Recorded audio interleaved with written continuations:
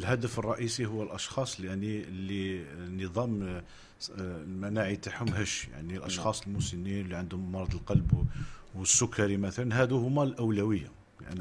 لأنه مستحيل هادو ضروري لأنه عنده المناعة ناقصة ناقصة والفيروس الإنفلونزا لما يجي يشوف نظام مناعي هش راح يتسبب في تضاعفات يلقى. روحه. يلقى روحه هذه.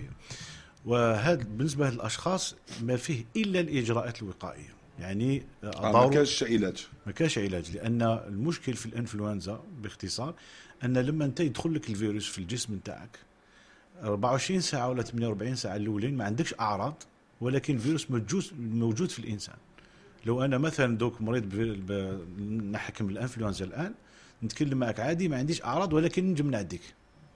وهذه الخطورة لأن الإنفلونزا عنده كل يوم يعني آه، سابق للأحداث بالنسبة للإنسان. ولكن لما يوجد الأعراض الحمى أو السعلة يكون عندك ثلاث أيام اللي الفيروس هو موجود في الجسم تاعك. فبالتالي مستحيل أنك تداوي الانفلونزا لأن تداوي حاجة لما تكون آه، بدأت في الجسم تاعك. ولكن تكون مشات بزاف. تكون مشات بزاف. فالدواء إذا فيه موجود عائلات تاع الدواء ضد الإنفلونزا ولكن تنقص إلا من حدة الأعراض. ولكن ما تقدرش تداوي الإنفلونزا. لهذا السلاح الوحيد في الأمراض مثل هذه هي التلقيحات لأن التلقيح راح نلقحه في أكتوبر في الأوائل لهذا نجنبوا أن الفيروس يدخل في جسم الإنسان قبل وجود الأعراض.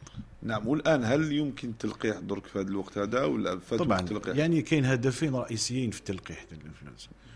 التلقيح بالنسبة لمجموع الأشخاص يعني لاماس الشعب وهذا يكون في أكتوبر باش يكون عنده مفعول لأن لازم قبل ما يدخل الوباء.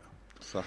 ولكن أنا ولا أنت مثلا عندك عندنا الوالد ولا أشخاص عندهم أمراض مزمنة ولا نخدم في المستشفى وعندي مرضى عندهم أمراض مزمنة نقدر لازم نلقح في أي وقت لأن ال- ال- المشكلة والهدف أني ما ننقلش ال- الإنفلونزا في هذه المرحلة وفي ظرف معين فبالتالي التلقيح يقدر يمشي المس- المفعول تاعو إلى أواخر نعم. الشهر وهل